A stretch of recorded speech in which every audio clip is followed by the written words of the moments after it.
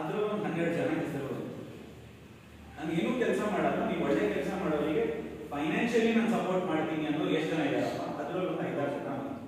ಅಂದ್ರೆ ನಮ್, ನಮ್ಮ ಮನ್, ನಮಗೆ ಹೆಸರು ಗೊತ್ತಿದೆ, ನಮ್ಮಲ್ಲಿ ಕಾಂಟ್ಯಾಕ್ಟ್ ಇದೆ. ಬಟ್ ನಾ ಆಮ್ ಆದ್ಮಿ ಪಾರ್ಟಿ ಅಂತ ಹೇಳಿದ ತಕ್ಷಣ ವಾಲಂಟಿಯರ್ಸ್ ಅಂತ ಹೇಳಿದ ತಕ್ಷಣ ನಮ್ಮ ಕಣ್ಮುಂದೆ ಬರುವಂತವರ ಸಂಖ್ಯೆ ಕಡಿಮೆ ಆಗಿದೆ. ಅದು ನೋಡೋರು ತಪ್ಪ ಅಥವಾ ಆಕ್ಟಿವಿಟಿ ಮಾಡಿ, ಮಾಡದೇ ಇರೋರು ತಪ್ಪ ಅನ್ನೋದು ನಾವು, ನಾವೇ ಕೂತ್ಕೊಂಡು ಅದನ್ನ ವಿಮರ್ಶೆ ಮಾಡ್ಕೋಬೇಕು ಹೊರತು ನಾವು ಯಾರನ್ನು ಘೋಷಣೆ ಮಾಡೋದಕ್ಕಾಗಲ್ಲ, ನಾವು ಯಾರ ಮೇಲೂ ಬ್ಲೇಮ್ ಆಗೋದಿಲ್ಲ ಸೊ ನಾನು ಇವತ್ತು ನಾಳೆ ಆ ಎಲ್ಲ ನಂಬರ್ಗಳಿಗೂ ಕಾಲ್ ಮಾಡ್ತೀನಿ.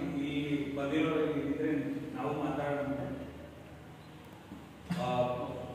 ಜನರಲಿ ಈಗ ದೇವಸ್ಥಾನಗಳಲ್ಲಿ ಹೋದ್ರೆ ನಿಮ್ಮ ಶಕ್ತಿ ಅನುಸಾರ ದಾನ ಮಾಡಿ ಅಂತ ಬೋರ್ಡ್ ಹಾಕಿರ್ತಾರೆ.